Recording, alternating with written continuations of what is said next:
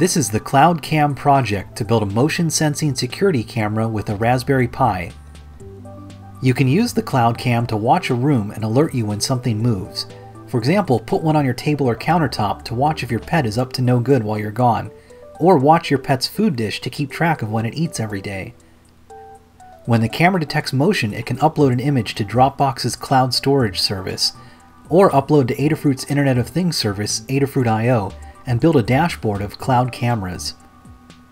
To build the project, you'll need a Raspberry Pi and a Pi camera. You can use the No IR filter camera to build a cloud cam that can see in the dark with the help of infrared LEDs. You can 3D print a case to hold the Raspberry Pi and camera, or just put everything in a cardboard box for a simple enclosure. See the full guide in the description below to build your own Cloud Cam, the internet connected motion sensing security camera with a Raspberry Pi. What would you watch with a Cloud Cam? Post in the comments below and subscribe for more great projects from Adafruit.